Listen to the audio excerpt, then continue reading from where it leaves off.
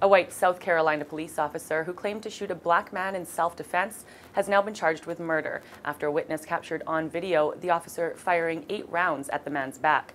We have the video, although we must warn some may find it disturbing. In this video, provided by an unidentified person, North Charleston patrolman Michael Thomas Slager drops his stun gun, pulls out a handgun, and fires at Walter Lamer Scott from a distance as he runs away. The 50 year old man falls after the eighth shot.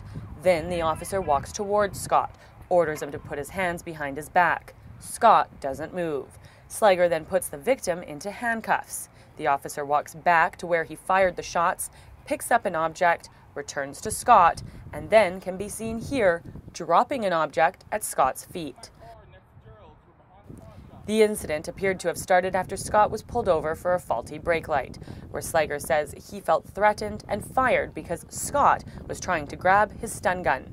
According to media reports, Scott may have tried to run because he owed child support, which can lead to jail time in South Carolina until it is paid. As for the officer, he was denied bond and could face 30 years to life in prison if convicted of murder. For Castanet News, I'm Jen Zielinski.